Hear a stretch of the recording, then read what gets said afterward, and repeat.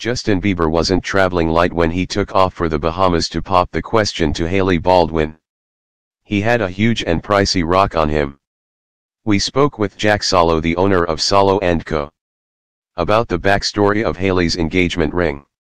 He tells us he originally met Justin Bieber through his manager Scooter Braun, a close family friend of his, and Bieber reached out to him a few weeks ago about buying a ring. We're told he decided on a large, elongated oval-shaped diamond between 6 to 10 carats. And Jack met Justin at his hotel in New York City to deliver it right before Bieber and Hailey left for the Bahamas. Solow wouldn't spill the beans on the final price tag, but sources tell us it was around half a mil.